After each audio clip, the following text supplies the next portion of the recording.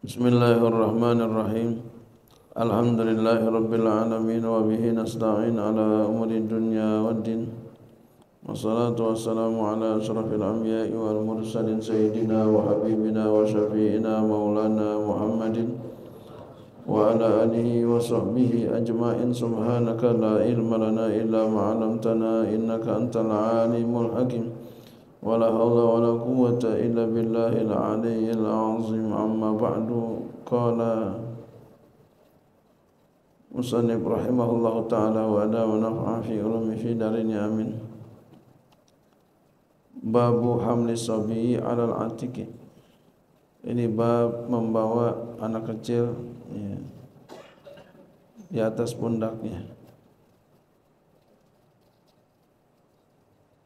وبلي قال حدثنا أبو الوليد قال حدثنا شعبة عن عدي بن ثابت قال سمعت البراء يقول رأيت النبي صلى الله عليه وسلم والحسن صلوات الله عليه على عتيقه وهو يقول اللهم إني أحبه اللهم إني أحبه وأحبه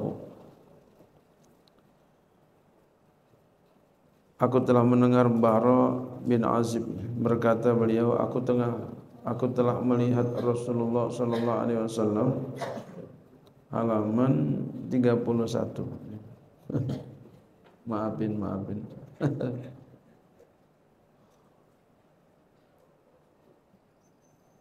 Halaman 31 ya. Babu hamlis sabi alal atiq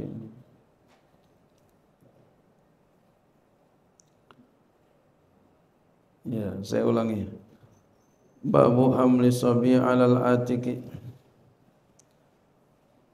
Wa bilai qala hadatsana abul walid qala hadatsana syu'batu an adi ibn sabit qala sami'tul bara'a yaqulu ra'aitu an-nabiy sallallahu alaihi wasallam wal hasan salawatullah alaihi ala atikihi wa huwa yaqulu allahumma inni uhibbuhu wa ahibbahu Riwayat daripada Adi bin Sabit beliau berkata aku telah mendengar Barok Barok ini Barok bin Azib biasanya. Ia berkata itu aku pernah melihat Rasulullah sallallahu alaihi wasallam dan Hasan ya cucu beliau. Ya anaknya Sayyidatuna Fatimah Zahra ya Sayyidina Ali salawatullah alaihi ala atikihi. Hasan itu berada di pundaknya Nabi sallallahu alaihi wasallam. Di pundak Nabi. Berarti apa? Digelayutin ya? Hmm. tadi bahasanya hamli babu hamli sabi. Ya bab mem, ya membawa anak kecil. Artinya apa? Memikul menggendong gitu ya. Di atas pundaknya jadi ya, Imam Hasan ya Hasan cucu Nabi ada di pundak Nabi. Ini menandakan bahwasannya beliau sayang. Kenapa beliau begitu sayang? Ya, kenapa beliau dari mana tahunya? Tuh cucunya sampai berani gelendotin beliau. Anak kecil tuh nggak bisa dibohongin pak, ibu. Siapa yang baik sama dia, dia ber, dia senang. Dia berani duduk di hadapannya, dia berani duduk di dekatnya, bahkan dia berani gelendotinnya. Kenapa? Karena dia yakin dia baik. Tapi kalau mau orang galak sama dia, dia nggak mau deketin. Betul begitu ya? Nah, Anak kecil kayak begitu. Hmm.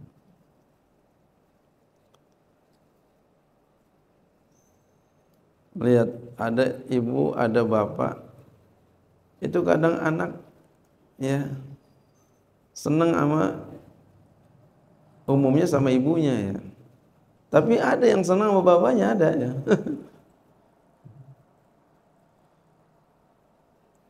Kalau apa-apa bapaknya, ada apa-apa bapaknya. Mungkin ibunya galak ya.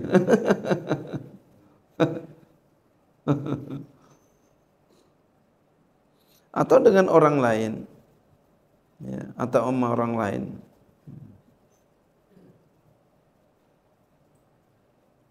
ya wa huwa yaqulu dan Rasul bersabda Allahumma inni uhibbuhu fa ahibbahu Ya Allah, sesungguhnya aku mencintainya, cintailah dia ya Allah. Jadi Imam Hasan dapat doa Sayyiduna Muhammad sallallahu alaihi wasallam kakeknya wajar ya mau cucunya siapa yang enggak cinta. Ya. Kita pun begitu, Pak. Pasti kita cinta sama anak sama cucu kita. Maka sepertilah kita seperti Nabi yaitu doain anak kita, doain cucu kita dan seterusnya. Jangan kita bosan-bosan doain anak. Doain. Ya. Yang kita bisa bahasa Indonesia boleh, bahasa kita. Bahasa Arab kalau bisa silakan. Yang bagus pakai bahasa Arab. Tapi kita bisa. Doain anak cucu kita, keturunan kita. Hmm. Jangan sampai kita nggak doain. Kenapa? Karena doa orang tua untuk anak-anaknya itu seperti doa un nabi li ummatihi, doanya nabi kepada umatnya. Ah, Masya Allah. Jangan nggak didoain. Baik dalam sujud kita yang terakhir ataupun habis kita sholat doain. Doain anak cucu kita. Kalau bukan kita yang doain siapa? Orang nggak doain anak cucu kita kecuali gurunya ya doain banget. Bahkan bisa lebih kencangan guru yang doain daripada dirinya bahkan daripada orang tuanya. Guru doain murid-muridnya pak di dalam sholat dan di luar sholat.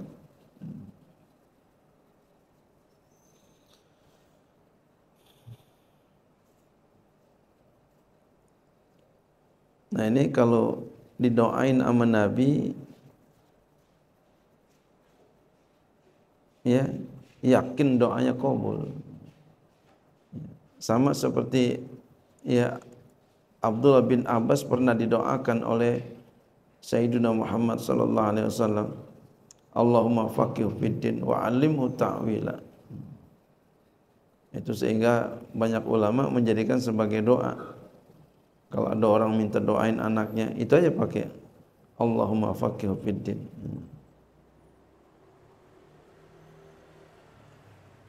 Ada juga kalau kita pengen dapat doanya Nabi yaitu sholat asar, sholat sunat asar empat rakaat. Siapa yang melakukan sholat sunat asar, sholat sunat sebelum asar, itu dapat doanya Sayyiduna Muhammad sallallahu alaihi wasallam. Allah berikan rahmat. Maka jangan ditinggal tuh. Salat sunat sebelum asar. Salat sunat asar. Empat rakaat. Biar dapat doanya Sayyiduna Muhammad sallallahu alaihi wasallam. Babul waladi ya, ya babun al waladu quratul ain. Anak itu adalah ya quratul ain sejuk mata, sejuk pandangan mata, maksudnya kesenangan hati. Anak itu kesenangan hati. Ya, anak itu kesenangan hati, Pak. Orang yang tidak dihasadin oleh seseorang adalah anak. Mau pinter kayak apa pun, mau kaya apa, mau kaya ya mau kaya seapapun, itu orang tua enggak iri bahkan bangga dan senang anaknya. Hmm. Wa bila qala hadatsana Bishr bin Muhammadin qala akhbarana Abdullah qala akhbar akhbarana Safwanu ibnu Amr qala hadatsani Abdul Rahman ibnu Jubair ibnu ibni ibni Jubair ibni Nufair an abi qala jalasna ila al-Miqdadi ila al-Miqdad bin al-Aswad yawman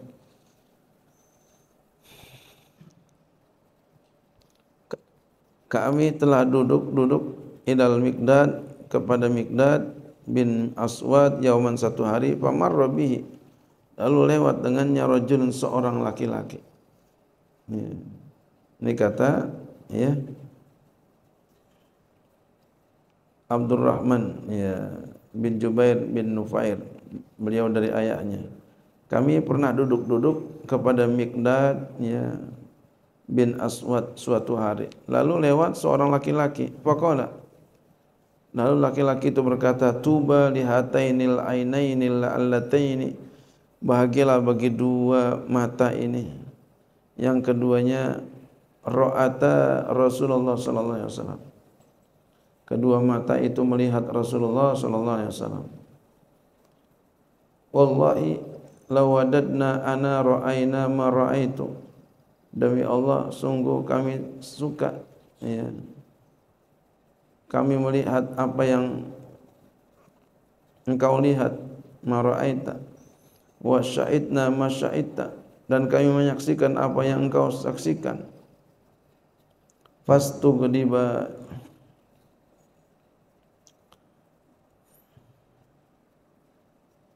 ya.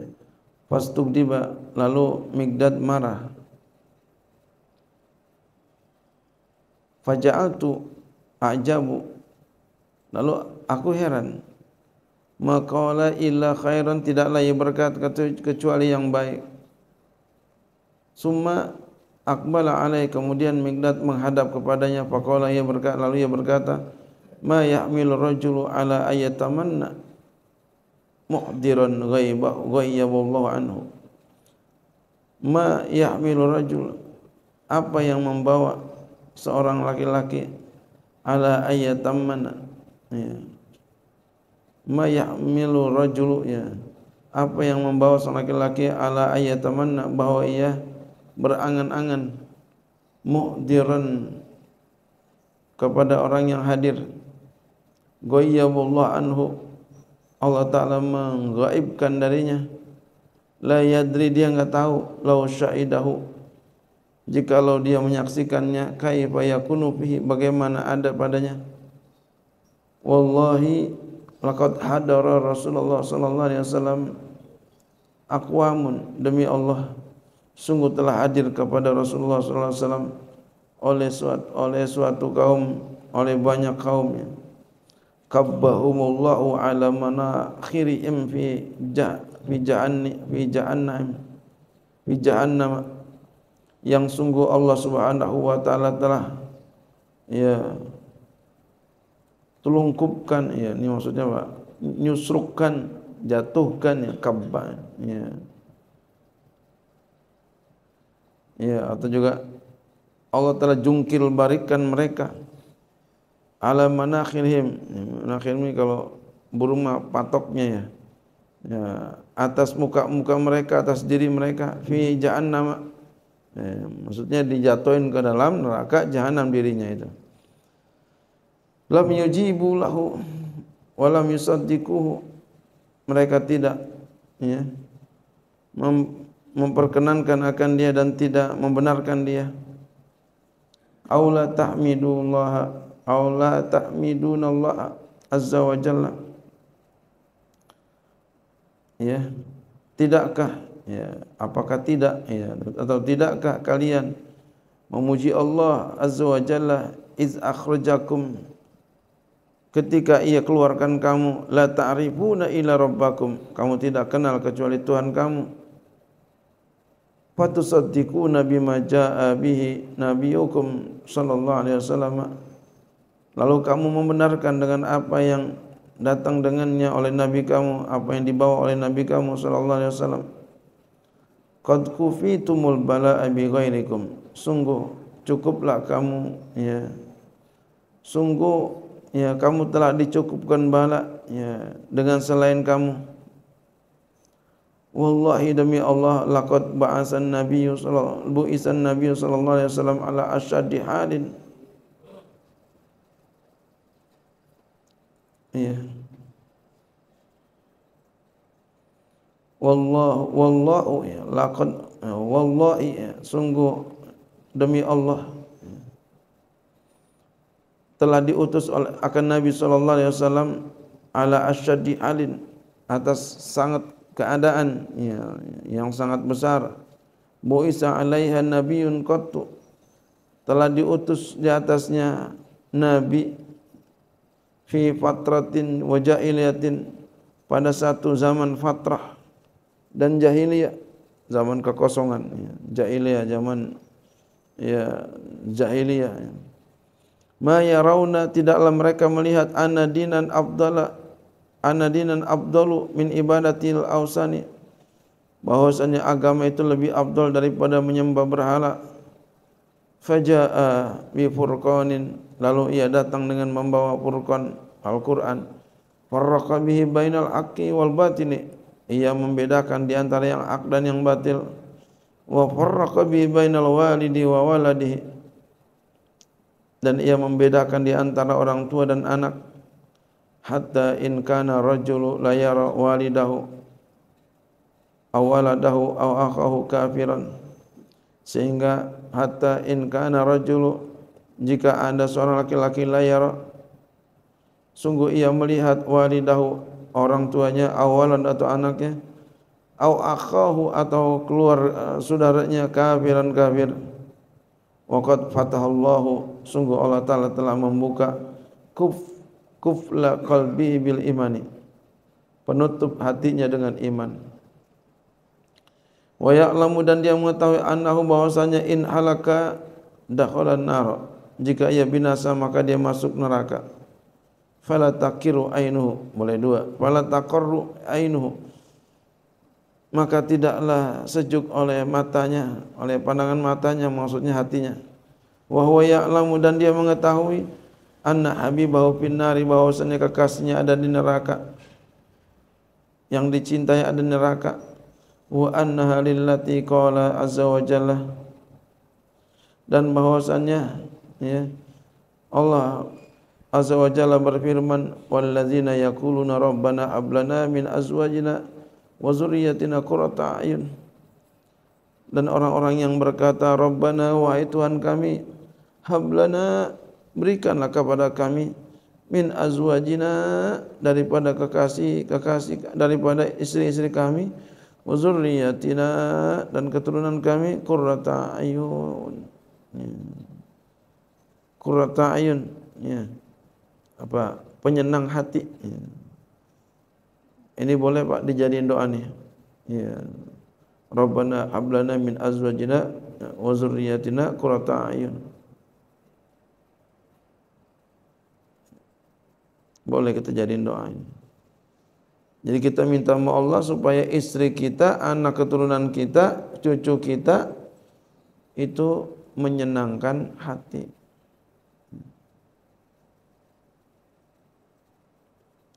Anak kita ngaji pak, duduk aja, ngaji duduk. Duduk aja pak. Kira-kira hati kita senang nggak pak? Ya Allah senang banget. Jangan dia jadi kiainya, jadi ustadznya. Jangan dia pintar, jadi duduk aja kita udah senang itu. Kenapa? Awal hidayah duduk sih. Tapi kalau dia nggak ngaji, ya Allah sedih banget kita ya. Sedih gitu. Ngaji, ngaji itu hidayah luar biasa ya. Awalnya dari ngaji, Pak. Kalau kita ngaji kayak begini, duduk kayak begini nih, duduk kayak begini. Awal hidayah. Hmm. Untuk yang lain-lainnya. Kata guru saya begitu. Orang kalau ngaji, Pak, duduk aja kayak begini. Itu orang tua demen. Jangan dia bisa jadi kiainya, jadi ustadznya. Duduk aja udah senang banget. Makanya keluarga kita itu kalau nggak ngaji kita ngomel dah pak. Kalau dia ngaji kita nanti mangkat, kita wafat, kita nggak ada di dunia, kita tenang. Insya Allah aja bisa ngatur dirinya. Tapi kalau dia nggak ngaji pak, oh, kita nggak ada, kita bingung tuh. kita wafat, kita mangkat, kita bingung tuh untuk ngatur dirinya yang benar rada sulit kalau dia nggak ngaji tapi kalau dia ngaji insya Allah hmm.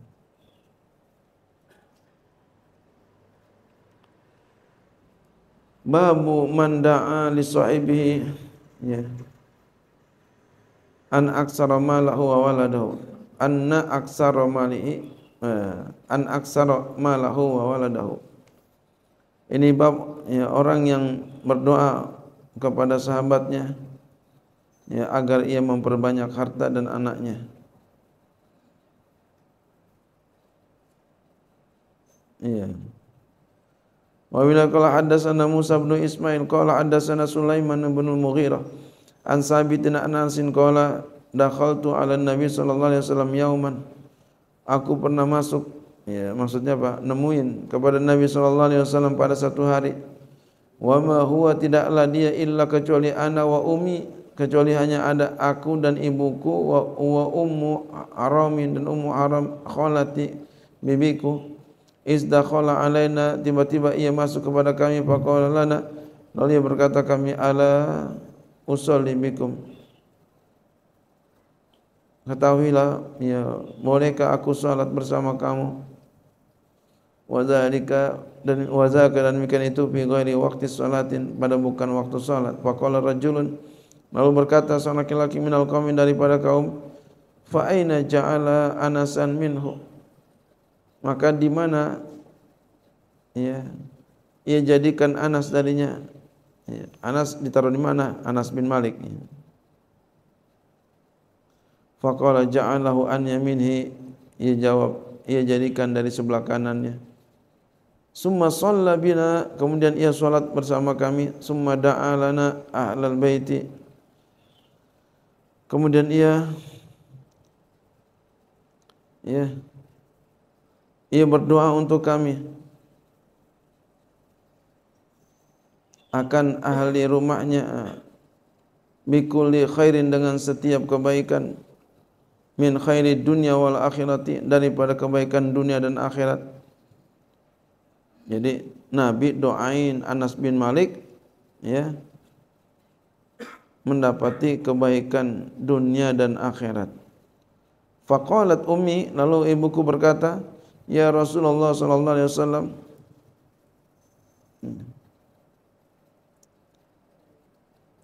Khuaiduka ud'u Allah lahu. Pada ali bi kulli khairin kana fi akhir du'aihi ayakula. An qala Allahumma Allahumma aksir malahu wa waladahu wa, ba, wa barik lahu. Ya. ya Rasulullah khuwaidu khuwaidumuka khuwaidumuka pelayan kecilmu ini ya Allah ya Rasulullah jadi ibunya Anas bin Malik nyerahin Anas bin Malik ya untuk supaya ya menjadi pelayan Nabi sallallahu alaihi wasallam.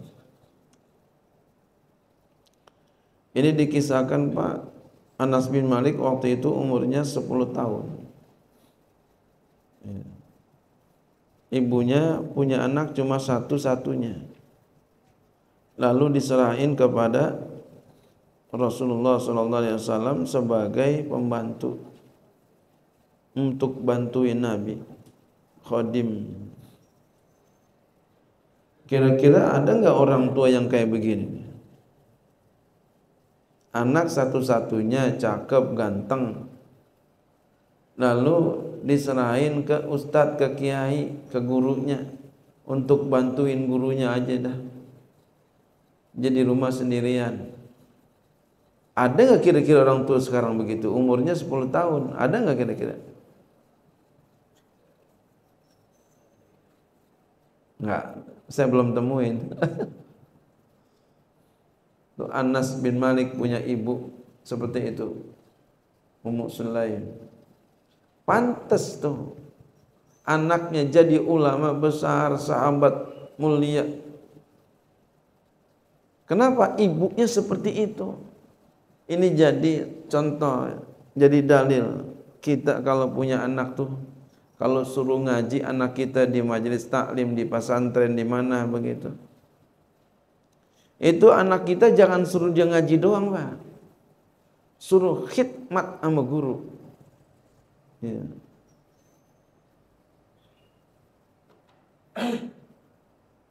Suruh khidmat sama guru. Jangan hanya ngaji doang, jangan. Khalifah Harun Ar-Rasyid. Harun Ar-Rasyid. Ketika melihat gurunya sedang dicuciin kakinya ya, sama anaknya.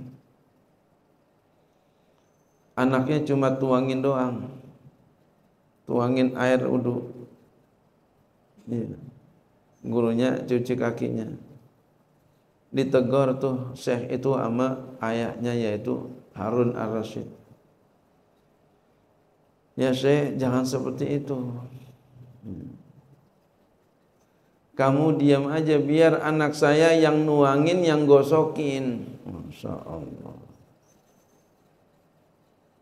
Kamu nggak usah gosokin kaki kamu, nggak usah. Biar anak saya yang nuangin air ke kaki kamu dan dia juga yang gosokin kaki kamu. Masya Allah. Begitu Pak Ibu. Kalau kita pengen anak kita ya, ilmunya barokah bukan hanya pinter aja barokah makanya Harun Ar-Rasyid anaknya jadi kiai itu jadi kiai. Kalau di Indonesia kiai. Khidmat. Orang tuanya itu. Kalau anak kan kagak bisa nggak ngerti mau mah jadi orang tuanya yang punya inisiatif gitu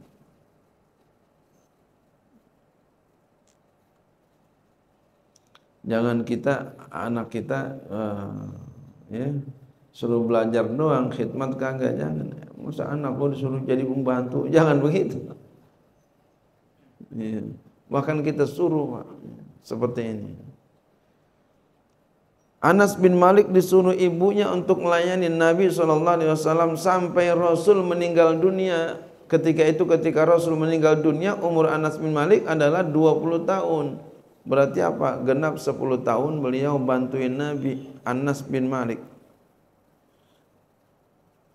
Masya Allah. Tuh orang tua mana yang kayak begitu Pak? Pantas kalau anaknya jadi. Kenapa? Orang tuanya. Jadi orang tua tuh bisa nolongin anak Pak. Tadi anaknya begini begitu bangor anaknya umpama karena orang tuanya baik, tuh anaknya diketolong tuh. Hmm. Jadi kita kalau begitu berarti orang tua harus benar, harus benar. ya yang pokoknya pangkalnya orang tua pak. Orang tuanya baik, benar soleh, insya Allah tuh anak jadi soleh. Orang tuanya toleh, lawanan soleh. ya mudah-mudahan si anaknya soleh. Tapi rada berat ya. Biasanya kayak begitu juga anaknya bagaimana bapaknya. Umpama nih anak ini bapaknya umpama nih bapaknya umpama suka ngambil harta warisan bapaknya, saudaranya. Suka ngambil duit bapaknya, emaknya. Bahkan harta warisan bapaknya meninggal, saudaranya digasak juga duitnya. Susah tuh orang ini susahnya bisa jadi warisan ke anak-anaknya. Ya Allah. Walaupun Islam tidak menganut yang namanya apa? Ya, dosa turunan nggak ada. Cuma biasanya begitu kita lihat. Jadi bapaknya garong, anaknya apalagi garong sama bapak sama orang tuanya, anaknya jadi imbasnya. Kita lihat begitu kan? Jadi anaknya ikut-ikutan susah. Itu saya pernah temuin kayak begitu ada ada ada seorang dia jual tanah mertuanya. Ya. Kalau saya perhatikan yang saya tahu ada dua kali dijual ya. bukan itu aja macam-macam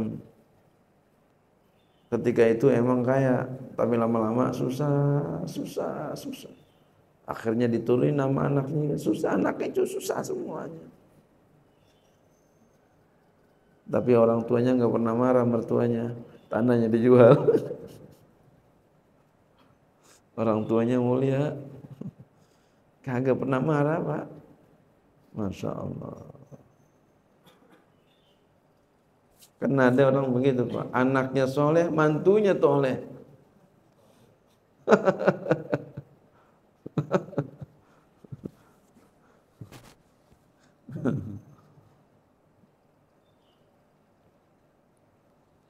Nah, ini contoh buat kita. Jadi orang tua kalau masukin anak kita pengajian ya atau pesantren, pesan sama anak kita jangan ngaji doang, tong khidmat sama guru, layanin guru. Ya. Layanin maksudnya apa? Bantuin. Ya. Yang benar bantuin. Ya. Bantuin. Lagi ngapain? Bantuin. Jangan kagak bantuin cari cari cari cari cari ridhonya. Ya. Kata ibundanya ya Rasulullah muka ini adalah pelayan kecilmu. Ud'ullah ala'u. Doakanlah ya ya ud'ullah berdoalah engkau kepada Allah lahu untuknya. Fada'ali. Lalu Nabi berdoa li untukku bikuli khairin dengan setiap kebaikan. Masya Allah. Kana fi akhiri du'ahi. Jadi banyak doanya tuh.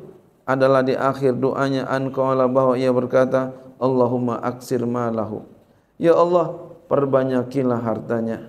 Wa waladahu perbanyakilah anaknya. Wa barik lahu berkahilah dia. Masya Allah. Dikisahkan anak cucu beliau itu sampai hampir 100 Masya Allah.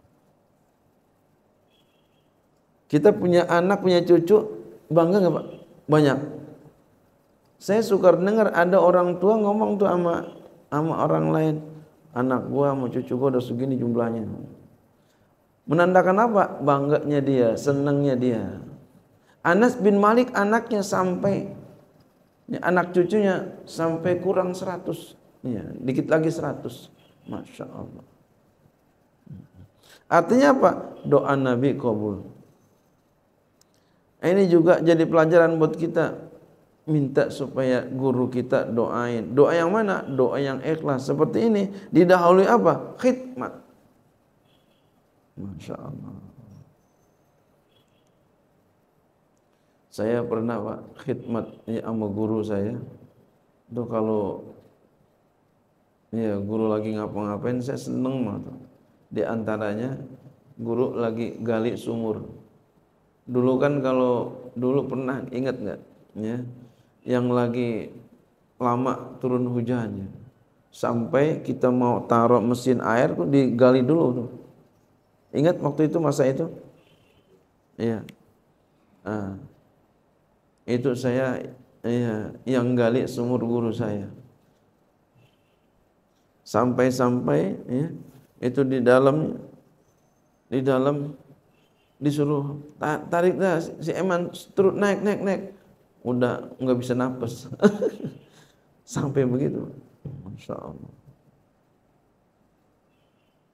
Galiin sumur. Gali sumur berat apa enteng pak Berat kerjaan siapa kira-kira tuh? Hah? Tukang sindang. Bukan santri. Tapi kita kerjain. Tapi hilang capeknya. Kenapa? Karena cinta. Iya. Sama guru cinta, capeknya hilang. Diganti sama Allah. Mudah-mudahan diganti keberkahan. Begitu. Capeknya hilang Pak. Kenapa? Cinta. Memang cinta bisa mengalahkan capek. Tapi kalau enggak cinta, sekecil apa pun pekerjaan, capek.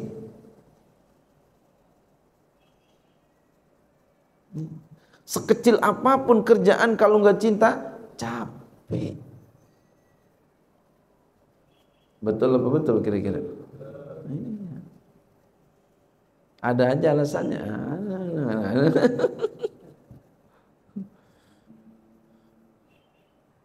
Tapi kalau udah cinta pak, masya Allah, tak heran-heran, dia bisa kerjanya. Itu karena cinta. Cinta. Ada ulama ya, Rabiul Adawiyah setiap hari, setiap malam sholatnya itu sampai ribuan rakaat. Kalau kita pikir-pikir Enggak sampai otak kita tuh kalau kita sembahyang jangan ribuan, seribu aja. Bapak mau nggak saya upayain 10 juta, Pak. Semalam seribu rokat, beneran? Siapa yang berani? Udah sampai subuh baru 500 rokat. Masya Allah. Kakinya udah gemeteran loh ya tuwali min. Kenapa? Cinta melahirkan cinta. Hmm. Anas bin Malik luar biasa. Dapat doa Nabi. Didahului dengan apa? Khidmat. Jadi kita jangan ngaji doang kalau sama guru. Jangan. Lagi ada pengajian. Kemudian tiba-tiba kata guru, pengajian libur dulu ngapain? Kita gali sumur dulu.